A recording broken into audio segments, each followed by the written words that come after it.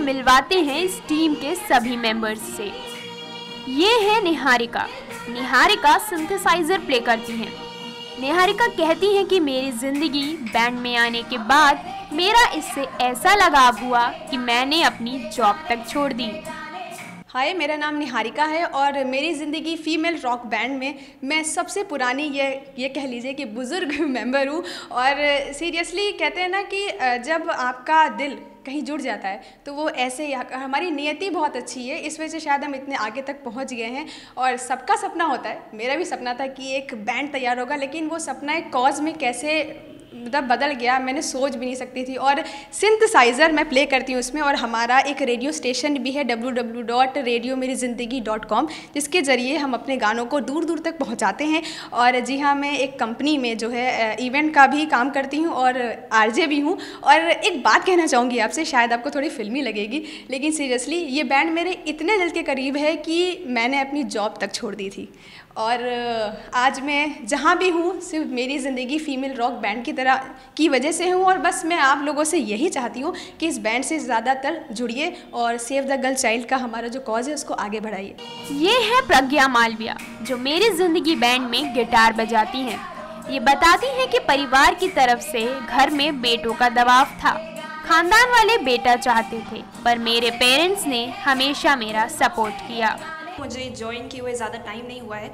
और तो मैं ये बताना बताना चाहती हूँ कि मुझे इस बैंड की तरफ़ से अपॉर्चुनिटी पहले मिली थी, लेकिन कुछ कारणवश मैं ज्वाइन नहीं कर पाई। लेकिन अब मेरी किस्मत इतनी अच्छी हो गई है कि फाइनली मुझे जया मैम ने दोबारा मौका दिया और मैं दोबारा इस बैंड की मेंबर बन गई हूँ एज द लीड गिटारिस्ट इस बैंड का जो कॉज है, मैं उससे और ज़्यादा कनेक्ट इसलिए हो पाई क्योंकि इसका एक पर्सनल रीज़न भी है, आप लोगों से शेयर करना चाहूँगी। मेरे घर में मेरे मम्मी पापा के सिर्फ़ दो बेटियाँ हैं, मैं और एक मेरी छोटी बहन। जैसे कि आप सब जानते हैं कि कोई लड़का नहीं होता है तो प्रेशर बनता है कि एक बेटा भी करिए। तो बचपन से उसी बीच, उसी लोगों के उन्हीं लोगों के बीच में हमेशा से रहती आ रही हूँ, लेकिन मेरे मम्मी पापा ने हमेशा मेरा और मेरी बहन का सपोर्ट किया। बचपन से यही चीज़ देखा है, इसलिए और ज़्यादा मैं इस बैंड से कनेक्ट हो पाई। ये है मेघना श्रीवास्तव। मेघना इस बैंड से लगभग एक साल से जुड़ी हैं। वो आरजे हैं। वो कहती है कि एक लड़की को हर बात पर खुद को साबित करना पड़ता है। इसीलिए मैं इस बैंड के कॉज से खुद को जोड़ पाई। मेरा नाम है मेघना मेघना श्रीवास्तव, और मेरी ज़िंदगी फीमेल रॉक बैंड से जुड़े हुए मुझे थोड़ा सा वक्त हो चुका है। लगभग समझ लीजिए अब शायद एक साल हो रहा है। और मैं एक आरजे हूँ, मैं एक एंकर हूँ, लेकिन उसके साथ ही साथ में इस समाज का हिस्सा हूँ, बेटी हूँ अपने घर की। हालाँकि मेरे घर में कभी भेदभाव तो नहीं हुआ लेकिन समाज से जुड़कर ये मैंने ज़रूर जाना कि बेटियों की जो अहमियत है, उन्हें बार बार अपने अस्तित्व को बचाना पड़ता है। वो भी इस दुनिया का हिस्सा है बार बार उन्हें बताना पड़ता है, खुद को साबित करना पड़ता है। तो ये जो एक कॉज है जया मैम का, मेरी ज़िंदगी रॉक बैंड का फीमेल रॉक बैंड का, कि सिर्फ़ लड़कियाँ हैं हमारे बैंड में, हम सब गुलाबी रंग के कपड़े पहनते हैं तो ये गुलाबी जो है, ये नाजुक है, ये प्यारा है, साथ ही साथ ये ताकतवर है।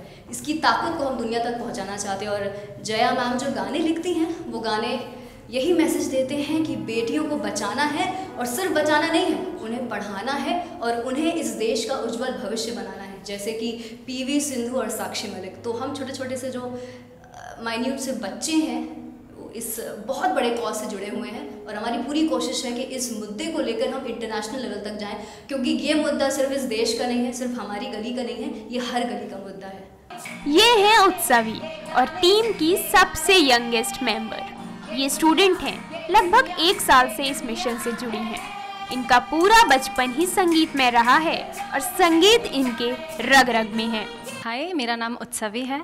मैं एक स्टूडेंट हूँ और मैं मेरी ज़िंदगी फ़ीमेल रॉक बैंड से पिछले करीब एक साल से जुड़ी हुई हूँ और as a student as a youth मैं uh, जैसे जैसे uh, जब मैं बाहर जाती हूँ मैं कॉलेज जाती हूँ जो मैं देखती हूँ जो डिफ़िकल्टी जैसे मैं पढ़ाई कर सकती हूँ ऐसे कितनी सारी लड़कियाँ जो पढ़ाई नहीं कर सकती जिन्हें ये सारी सुविधाएँ नहीं मिल रही हैं।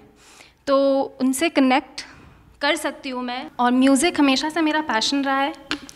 और जब मेरा ये पैशन इस कॉज जब मुझे इस कॉज के बारे में पता चला, इस बैंड के बारे में पता चला सेव द गर्ल चाइल्ड तो मुझे लगा कि मुझे इस कॉज से जुड़ना चाहिए, क्योंकि ये बहुत बर्निंग टॉपिक है आजकल का। लड़ लड़कियाँ लड़कियों को बहुत कुछ फेस करना पड़ता है। एज अ गर्ल मैं ये समझ सकती हूँ कि उन्हें कितनी दिक्कतों का सामना करना पड़ता है। और इन सबको मिलाकर बनता है मेरी ज़िंदगी रॉक बैंड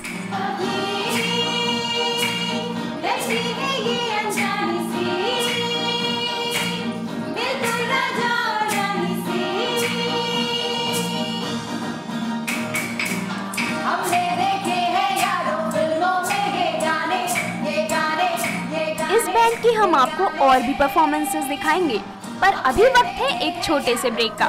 बने रहिएगा हमारे साथ। ये गाने ये गाने। ये गाने ये